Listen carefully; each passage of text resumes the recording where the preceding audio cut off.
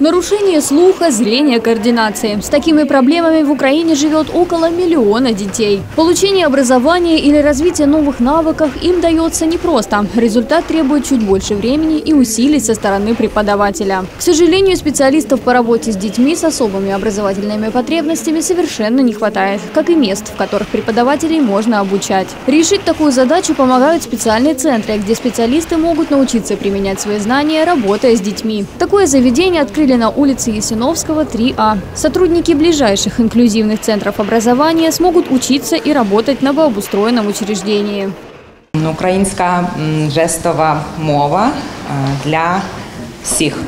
З саме такий флешмоб е, почався е, минулої середи, коли е, всі голови обласних державних адміністрацій та мери міст відразу тут е, дві події. Ми і е, вручаємо обладнання і відкриваємо такий тренінговий центр.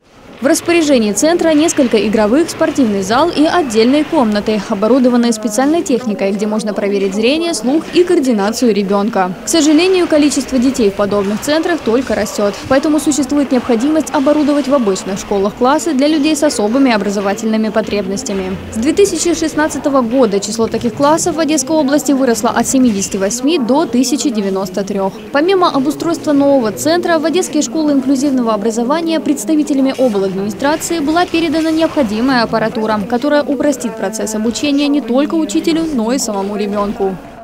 Ми створили тренінговий центр для підтримки інклюзивної освіти не для навчання дітей, а для навчання саме тих працівників, які будуть працювати з дітьми.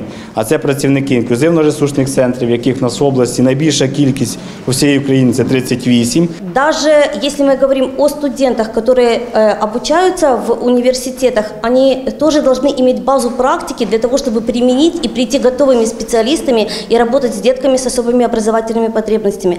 И очень важно, чтобы в принципе в, каждом, ну, в каждой области был центр тренинговый, где можно в безопасной зоне, да, в безопасном пространстве получить не только теоретические знания, но и применить их на практике. Оксана уже много лет работает в благотворительной организации помощи детям с синдромом Дауна. О проблемах и потребностях солнечных детей знает не понаслышке. Женщина воспитывает 17-летнюю дочь. Рассказывает, что в процессе воспитания порой не хватает психологической поддержки, которую могли бы оказывать в подобных тренировочных центрах. Я вот как мама с таким ребенком, вы знаете, мне иногда нужна тоже такая вот помощь в плане э, не то, что там психологической, ну, чтобы кто-то поддержал, рассказал. Поэтому как дальше, допустим, потому что ребенок взрослеет, она уже становится девушкой. Иногда э, я даже не знаю, ну, бывают такие моменты, что я ей объясняю и воспитываю как обычного ребенка, но все равно бывают все-таки такие моменты, которые мне нужна помощь специалиста. Тренинговом центре для детей с особыми образовательными потребностями будут проводиться тренинги и семинары с участием самих воспитанников. Занятия планируют начать в ближайшее время, конечно, с соблюдением всех карантинных норм. Татьяна Барумбей, Владимир Ивжич, телеканал «Репортер».